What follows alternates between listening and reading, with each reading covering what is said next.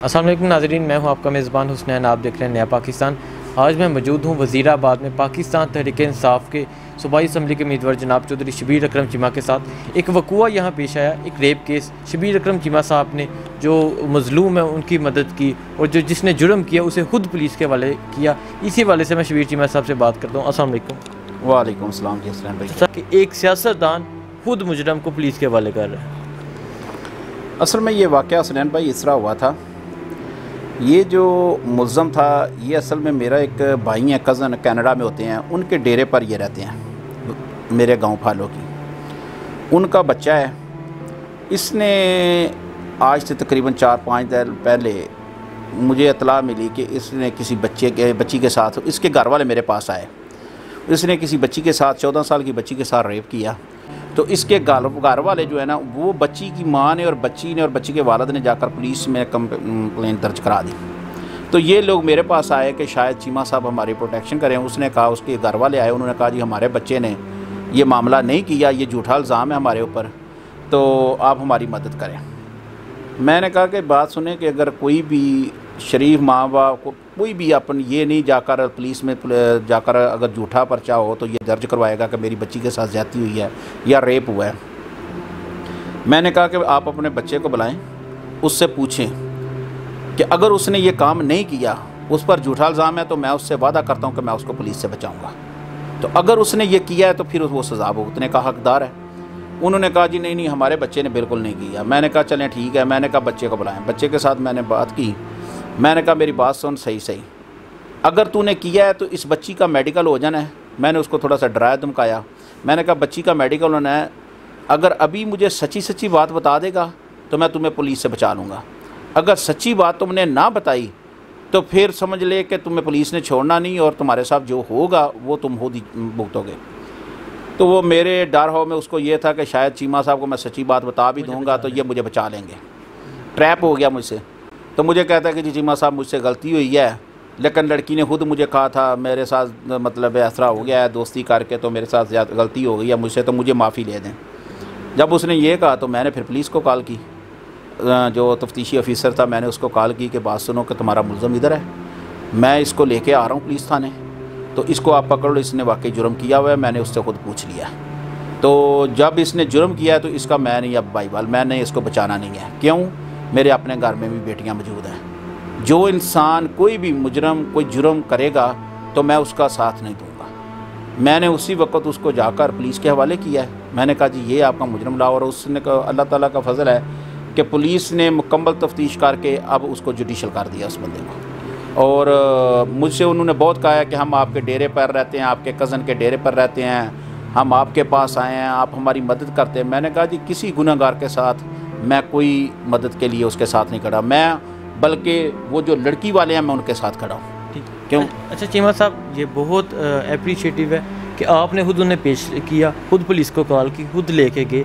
लेकिन ऐसे वाक़ात में सियासी पुष्टपनाई नज़र आती है। सियासी सियासी लोग जो जुर्म करने वाले उनकी पुष्टपनाई करते हैं। तो लेकिन आपने एक बहुत अच्छा स्टेप लिया। इसकी रीज़न क्या है? यही तो हमारी पार्टी और हमारे खान साहब का हमारे लीडर का विजन है।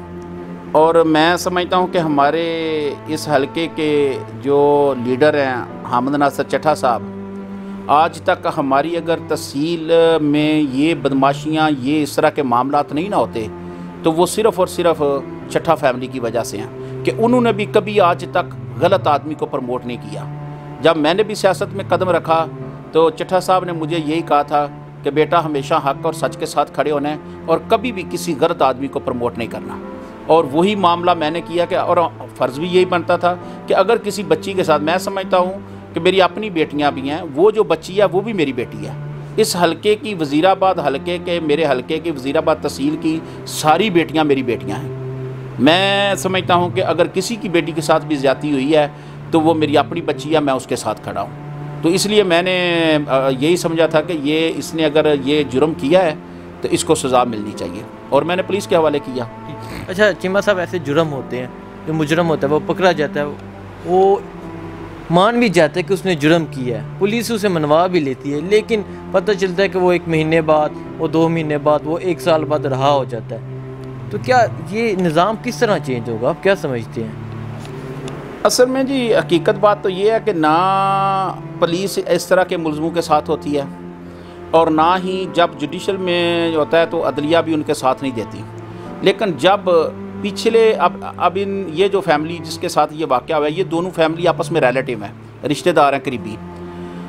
अगर कल को जिस तरह वो अभी वो उनका बच्चा जुडिशल हो गया और अब मुझे पता चला है कि ये सारी फैमिली उस फैमिली पर मुख्तलिफ़ अपने रिश्तेदार कर दबाव डाल रहे हैं या उनकी मिन्नत कर रहे हैं, जिस तरह भी, अगर कल को वो उसको माफ़ कर देते हैं, क्योंकि बच्चे की उम्र भी तकरीबन हार्डली सत्रह साल है और बच्ची की उम्र पंद्रह सोलह, चौदह, पंद्रह साल है तो अगर उसके वालदेन, कोई मामला किसी तरह का, कोई दूसरे रिश्तेदार आपस में बैठ के वो बात को कर लेते हैं या माफ़ीनामा हो जाता है तो उसमें अगर कल को वो छूट जाता है तो मैं समझता हूँ कि भाई ये अदलिया की कमज़ोरी नहीं है, ना पुलिस की कमज़ोरी होती है, ये असल में जो घर वाले होते हैं ना, जब वो केस की पैरवी नहीं करते तो फिर जारी बात है अदलिया ने छोड़ना होता है अदरवाइज़ कोई जज देखें हर एक की बेटियाँ घर में मौजूद हैं। इस तरह के मामला पर कोई आदमी भी कम्प्रोमाइज़ नहीं करता। अच्छा आपने ये बात की कि कोई भी जज कम्प्रोमाइज़ नहीं करता, लेकिन हमारे पाकिस्तान में ऐसा पाया जाता है कि एक जज शराब पकड़ता है और वो शराब बाद में शहद बन जाती है। आपको पता होगा इस वाक्य के मतलब एक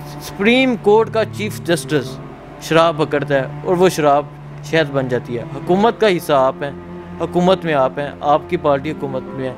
निज़ाम कैसे चेंज करेंगे? देखें जी ये जो निज़ाम है ना असल में जो जज साहब ने बिल्कुल वो जो आप कह रहे हैं कि उन्होंने अगर एक शराब पकड़ता है और उसके बाद वो शहद बन जाता है।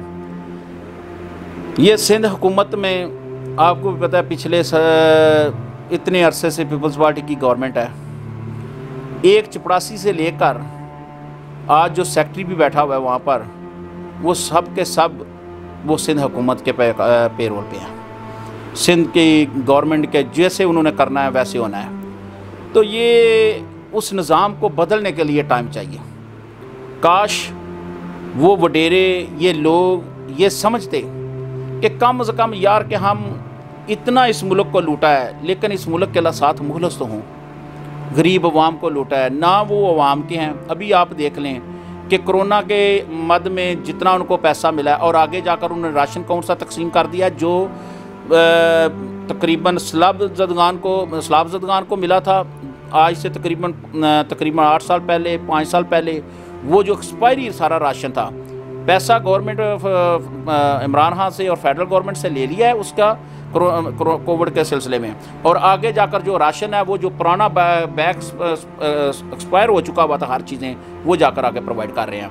अब अरबों का रुपया, उनसे जब पूछा जाता है कि वो अरबों का रुपया, अरबों रुपया का राशन आपने कौन से गाँव में किस जगह पर आपने तकसीम किया है, जो आप उसका नहीं देते। मैं समझता हूँ कि जब तक ये हान साहब जैसा लीडर अगर इस मुल्क में पाँच से दस साल हुकूमत में रहे तो इन ताला ये चपड़ासी से लेके सेक्रेटरी तक सब ठीक हो जाएँगे। देखें, अभी आपके सामने पहले खान साहब ने शुगर माफिया को पकड़ा, यही अपोजिशन थी, यही लोग थे।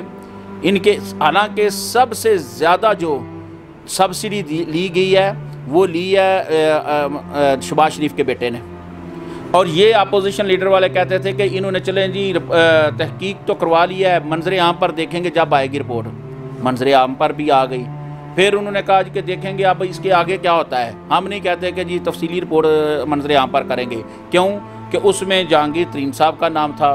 खुसरे बख्तार साहब के जो उनके उनके भाई का नाम था, वो कहते थे कि इनके गवर्नमेंट के अपने बंदे खान जो लीडर है ना हमारा, जो हमारे वज़ी अजम हैं, उनका सगे बेटे का भी अगर नाम होता ना तो उन्होंने पीछे नहीं हटना। ये अल्लाह ताला की तरफ़ से एक तोहफ़ा है, खान साहब की सूरत में। क्यों?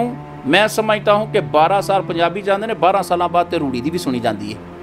तो साढ़े पाकिस्तान की भी हूँ सत्तर साल बाद मैं समझता हूँ कि अल्लाह ताला ने सुन ली है और हमें एक ऐसा लीडर दिया है कि ना वो किसी के सामने झुकता है ना वो किसी के सामने बिकता है और ना ही वो किसी के सामने ये कहता है कि मैं फ़लाँ के साथ तल्लक है रिश्ता है तो इसकी वजह से मैं इसको अकामोडेट कर दूँ अल्लाह के फजल से वो हक और सच पर खड़ा हुआ है उसने इस कौम के साथ जो वादे किए हैं टाइम थोड़ा सा लगेगा ज़ारी बात है हमारी आवाम हम लोग इतने जज्बाती हैं और स्पेशली अपोजिशन की बातों पर। खुद सत्तर साल में कुछ नहीं किया इस मुल्क के लिए। और अभी कहते हैं कि खान साहब ने हथेली पर सरसों क्यों जमा नहीं जमा रहे कि सुबह उठें तो पाकिस्तान का सारा सिस्टम सारा निज़ाम बिल्कुल ठीक हो। ये अभी कोविड के सिलसिले में आप खुद देखें, जिस तरह खान साहब ने पाकिस्तानी कौम को कामोडेट किया है, पाकिस्तानी अपनी आवाम को कामोडेट किया है, आज तक कभी किसी लीडर ने किया है? जो ये जो बारह बारह हज़ार रुपया मैं समझता हूँ, यकीन माने, जिस तरह हमारे इलाके में गरीब लोगों को जो मुस्तक थे, सही मुस्तक थे, उन तक ये पैसे पहुँचे हैं। पहले क्या होता था, ये लोग लैपटॉप की सूरत में, कभी किसी सूरत में लोगों में पैसे बांटते थे, क्या करते थे, बीस हज़ार का कंपनी से लैपटॉप खरीदा और आगे जाकर मतलब चालीस हज़ार का दे दिया। लेकिन इन ताला, पाकिस्तान में ये निज़ाम, पाकिस्तान में सिस्टम बहुत जल्द ये सब चेंज होगा। इन ताला अगर शराब की बोतल पकड़ी गई तो शराब की बोतल ही कही जाएगी। ये नहीं होगा, शायद की बोतल होगी। वो वो वक़्त अल्लाह के फजल से आने वाला है। इसी के साथ मुझे इजाज़त है और सबसे बढ़कर ऐसे सियासी पर्सन जो हैं, बहुत अप्रिशिएटिव हैं। हमें इन्हें अप्रिशिएट करना चाहिए कि ये जो जुल्म करते हैं, उनका साथ नहीं देते, ये मज़लूम का साथ देते इसी के साथ मुझे इजाज़त है हाफिज़।